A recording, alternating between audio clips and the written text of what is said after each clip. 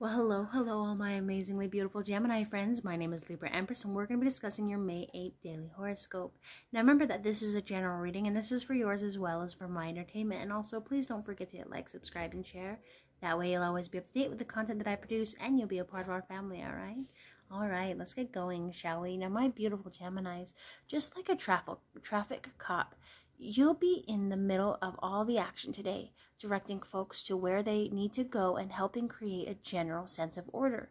Will be challenging, but it's a challenge that you've been preparing yourself for, so do not worry, okay? Now, you have a lot of support behind you, and a lot of people want to see you succeed. You should trust in that advice that they give you without any suspicion, but go ahead with your gut in the end, all right? So you're going to have a great day today. I love you. Please don't forget to like, subscribe, and share. And join me again for tomorrow's daily horoscope, okay? I love you. Bye, my beautiful, beautiful Geminis.